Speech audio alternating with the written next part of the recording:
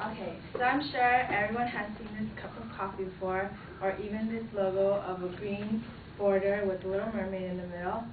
You've probably seen it at least once, or maybe even every day. I saw a couple of you guys drink Starbucks. Um, I'll be talking about Starbucks, how it came to be, how it affects us, and to simply explain the history in today's world revolving around Starbucks. Um, I've been researching this topic for a little bit, and I'm also happy to say that I'm a victim into buying one of their delicious drinks. Um, I'll outline the basic elements of Starbucks. First, let's look at the facts and figures of the Starbucks Coffee Company. According to the company fact sheet, Starbucks was founded in 1971 in Seattle, Washington, near the Seattle Pike Place Market, and to this day, the first Starbucks is still open to the public. The coffee's original name was coffee, uh, Starbucks Coffee Tea and Spices, and then later changed into Starbucks Coffee Company when it became an international chain. Um, the title of Starbucks was actually named after the first mate of the famous literature Moby Dick. As of February 2008, there are at least one Starbucks in all 50 states, including the District of Columbia. There are approximately 7,000 company-operated stores and 4,000 licensed stores in the United States.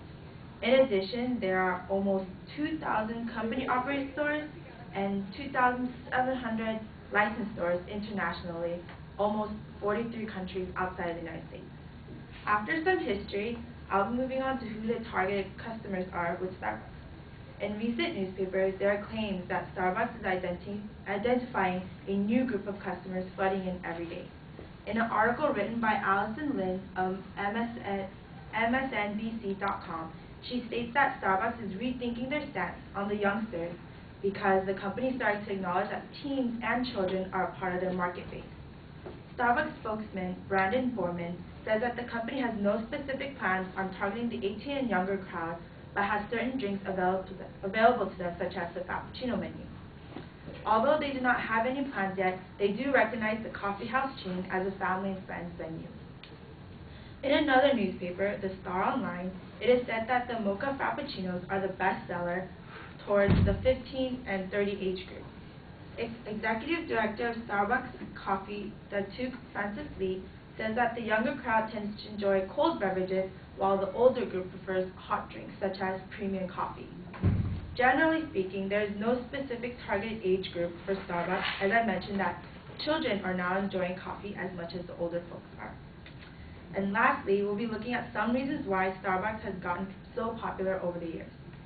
Starbucks Coffee House is known for the relaxing and quiet atmosphere where people can enjoy sips of their warm drink. According to a newspaper article written by reporter Shabung Fook, he states, they come to relax and mingle with friends, even if they have to fork out extra money for coffee that could go instead into essentials like food and gas. It's a place to sit down and chat the time away amid artwork, light music, and cushy chairs. The calming mood of Starbucks has attracted many different types of people, ranging in all kinds of age and race. Not only is Starbucks a place to stay to rest and unwind, the drinks are also another reason why Starbucks continues to rise in popularity, even in this downfall economy. An office assistant in Fook's article, Callie O'Brien says, you can't just do anything just because the world is in a recession.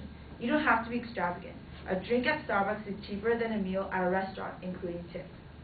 Um, this graph is done by five members of a study. On the sample size is 42, meaning they only interviewed 42 people.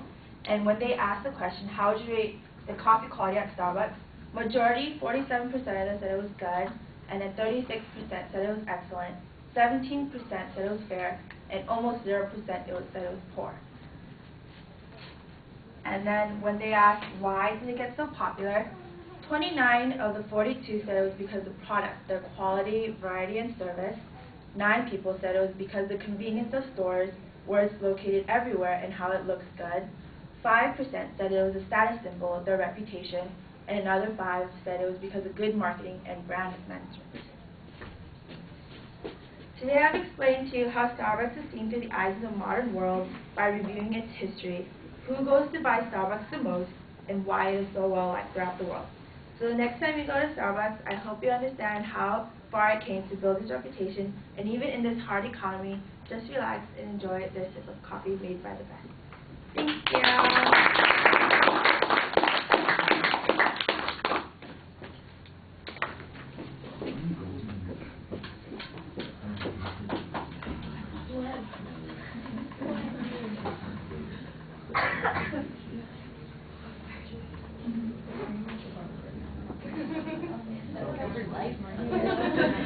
So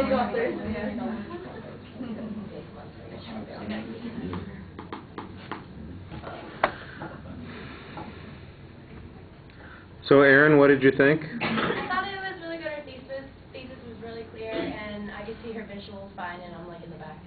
And um, she uh, she cited her. Um, there was a lot of citations in her speech, and she read a lot from the paper. But when she um, looked at the audience, she like it was like she was talking to us. So I thought it was really good. All right.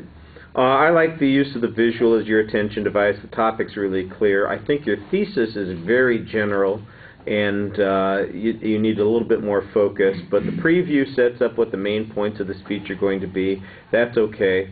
Uh, I thought that you had good supporting material. In the first section with all the statistical data on the Starbucks company, we don't really get much of a source citation on that.